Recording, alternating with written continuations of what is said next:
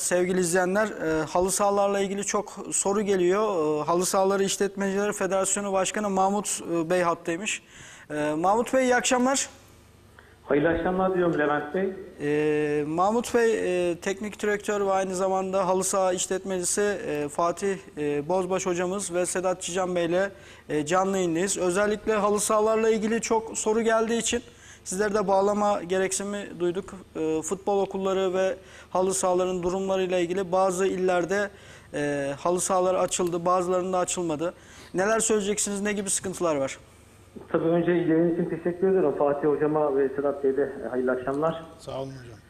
Ee, öncelikle e, Halı Saha İşletmecileri Federasyonu olarak e, yola çıktığımızda e, biz halı sahalarla ilgili Cumhurbaşkanımız Sayın Recep Tayyip Erdoğan'ın 28 Mayıs günü yeni normalleşme süreciyle ilgili spor tesisleri ve işlerindeki tesisler gece saat 24'e kadar hizmet verebilecektir açıklamasıyla 1 Haziran'da e, Sağlık Bakanlığımızın bugüne kadar takdire şayan yürüttüğü sürece zarar vermeden, vermeden spor tesisleri ve işlerindeki halı saha, kafeterya gibi alanları hijyen kurallarına uyarak e, açtık.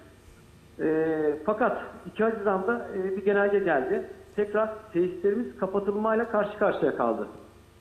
Valiliklerin COVID-19 salgının az veya tehlikeli görmediği illerde il hıfzı kurulları istişareleriyle valiliklerimizin olurlarıyla tekrar sahalarımız açılmaya başlandı.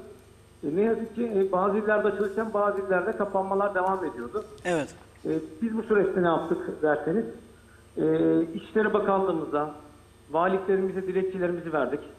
Sorunlarımızın genel olarak çözülmesi için e, taleplerimizi ilettik.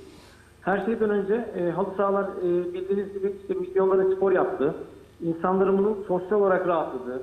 Çocuklarımız ise e, 100 gündür e, hepimizin bildiği gibi televizyon ve internetin başında bağımlı hale geldikleri ortamda e, spor okulları ve halı sahaların açılmasına hiçbir engel olduğunu düşünmüyoruz. E, devletimizin ve özellikle e, bu süreci mükemmel eden Sağlık ve İçişleri Bakanlığımızın yanındayız. Fakat devleti idare eden yöneticilerimiz takdir ederler ki 100 gündür çalışmayan 12 bin halı saha işvereni, personeli, iştiracısı şu an. E, halı saha demek ülkemizde spor tesisi ve milyon kişinin üzerinde spor yaptığı, 50 bin üzerinde antrenör görev yaptığını düşünürsek e, futbol, basketbol, voleybolun şu an serbest olmasını düşünüyoruz. Evet. Şimdi e, özellikle futbol okulları da tabii bu durumdan etkilendi. Hem halı saha işletmecileri aynı zamanda futbol okulu düzenliyor. Sizler de herhalde Altay e, kulübünü e, şey yapıyorsunuz, futbol okullarını Tabii. devam ediyorsunuz. Altay Altyapı Direktörüyüm. Aynı zamanda da e, Altay Spor Okulları Direktörüyüm. E, şimdi Türkiye genelinde 103 şubede yaklaşık 12 milyon öğrencimiz ve Evet. 600 e, antrenörümüz görev alıyor. E, Takdir edersiniz ki Fatih Hocam da orada e, en azından bize bu konuda destek çıkacaktır. Antrenörümüz gerçekten e, çok zor durumda. E, saha işletmecilerimiz çok zor durumda. E, bunlarla ilgili e, çözüm arayışı içerisindeyiz. Evet.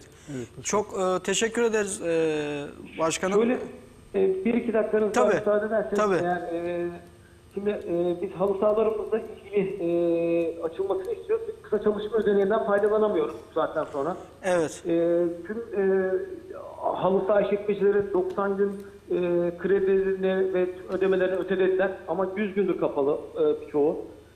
Şimdi e, çoğunda amatör olduğunu düşünürsek antrenörlerin hiçbir sosyal güvencesi yok. Şimdi biz e, halı sahalarla ilgili özellikle e, halı saha girişlerine belli noktalarına Covid-19 önlemleriyle ilgili bilgilendirme afişlerimizi astık. Sahalarımıza gelen sporcuların ateşlerini ölçtük. Belli noktalara koyduğumuz dezenfektan ile hijyen ol- olmalarına katkı sağladık. Seyirci almadık. Soyunmadıları ve duşları kullandırmadık. Açık içecek vermedik. Tek kullanımlık gerekler verdik. Sahalarımız ve e, tesislerimizin her noktasını dezenfekte ettik. Şimdi e, maç sonrası kafeterya kısmını almadık.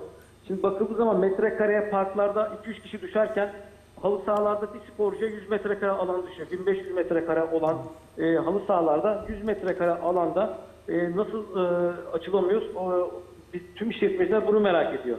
E, randevu sistemiyle çalışıyoruz. Yoğunluk yaşanmıyor. Evet, aynen. Baktığınız zaman uçakta, metroda, otobüste, kafede metrekareye düşen kişi sayısı ya da basketbol alanları e, geziyoruz. Belediyelerin beton zeminde 4 potada 100 metrekare alanda 30-40 kişi e, spor yapıyor. Ama halı sahalarda 100 metrekarede spor yaptıramıyoruz kişiye düşen bir alanda. Evet. Şimdi bunun gibi e, bugün güzel bir çalışma yaptık. Twitter üzerinden e, ilk beşe girdik gündem olarak Türkiye'nin bugün. Evet. E, ya Perşembe günü Ankara'dayız. E, Türkiye'nin tüm- her yerinden e, işletmeci arkadaşlarımız gelecek. Bir veya iki kişi. Ankara'da toplanacağız. 12 bin işletme ve 50 bin antrenörün ve 15 bin üzerinde çalışan insanlar çözüm bekliyor. Evet. E, bununla ilgili e, bizim tek talebimiz var. Valilikten hızlı kurulu raporu ile halı sahaları açma yetkisi var. E, bu şekilde de açtılar. AVM'ler, hamamlar, sahralar açıkken e, halı sahaların açık olmaması da tabii ki düşündürücü. E, kriterlerimizi koysunlar. E, biz kriterlere uyarız e, halı saha olarak ve e, spor okulu olarak. Biz e, buna hazırız. Bununla ilgili de desteklerinizi bekliyoruz.